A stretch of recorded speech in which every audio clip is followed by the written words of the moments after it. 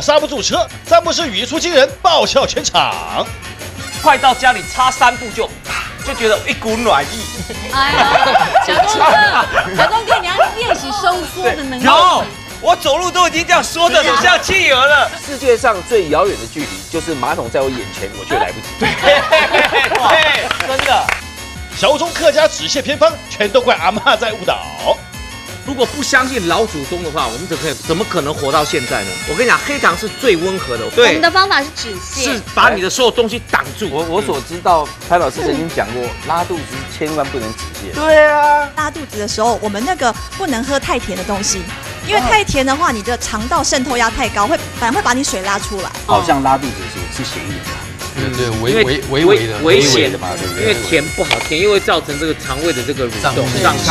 对对对，不是麻辣加黑砂糖。对啊，那是我跟你讲，阿婆啊，按做唔得喽，老公哦，哎呦，我舌下又要肚是会掰的喽，阿婆哈，乖喽。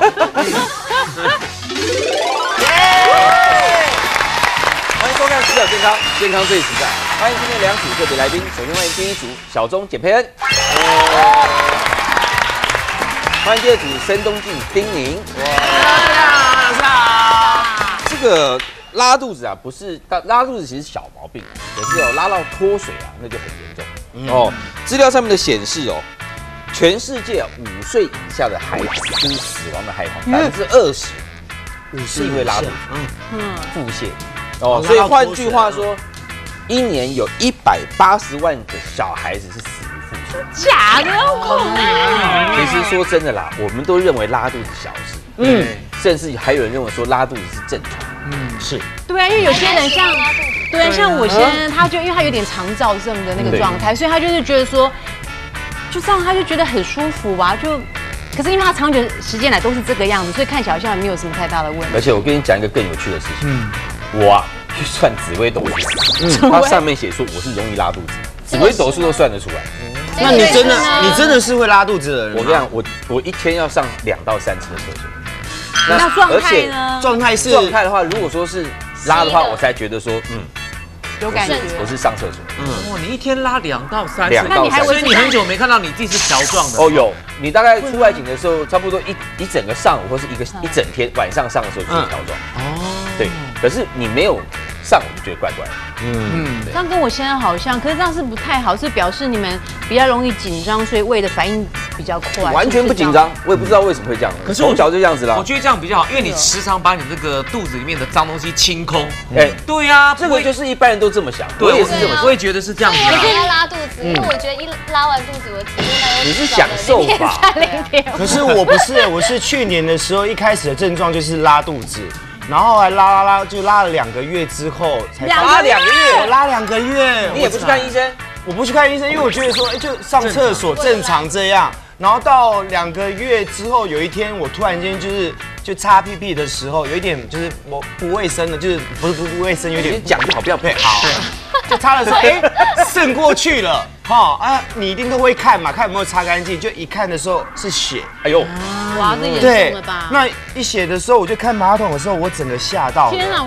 对，然后那时候我一直月经来了，对，哎，一直以为是内痔跟外痔啦，哦，对，然后问问医生之后去检查，哎，也不痛。他问我说拉肚子会不会痛？因为内痔外痔对对对会痛。我说不痛，就害我去检查大肠镜，就疑似大肠癌。哦，对。然后后来照了之后就有长息肉。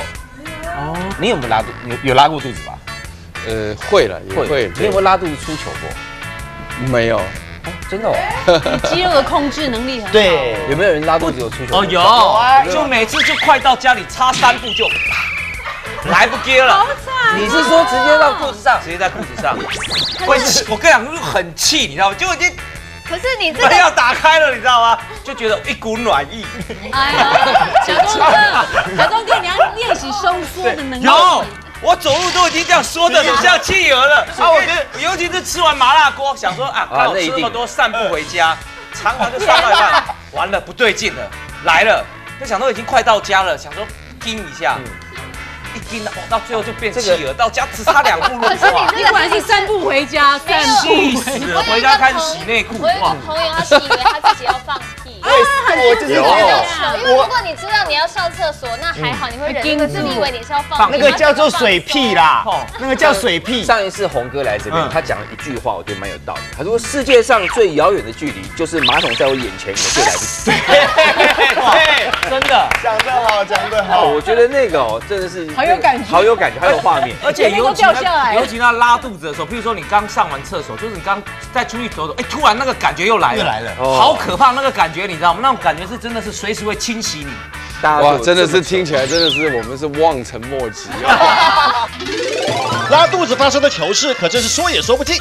接下来我们马上要进行健康比一比，看看哪些状况会造成拉肚子哟。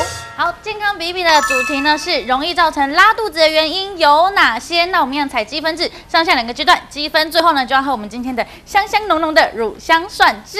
哎呀，又是蒜，又是蒜，所以要加油啦！好，健康比比，现在开始。四个字。切了。四个字，四个字。食物中毒。答对。冷冷冷，两个字两个字，冷呃什么东西？什么叫冷？寒。嗯。哎，快点跪，快点跪，快点快呀，快点跪。嗯。呃紧张。答对。三个三个字。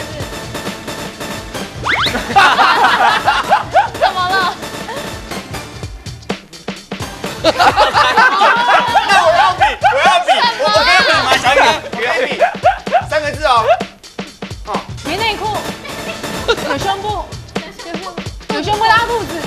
三个字。三个字。三个字。脱啦。啊，月经来。贴近，贴近。三个字。生理痛。差一个字。生理痛。生理。生理期。答对。下一个，我怎么比给你队友痛啊？这都不按铃啊！我有按哦，我有按。三个字，四个字，这样子三个字，你把金拖汤有人拉倒。你跟你的衣，跟你的衣服连在。一起。哦。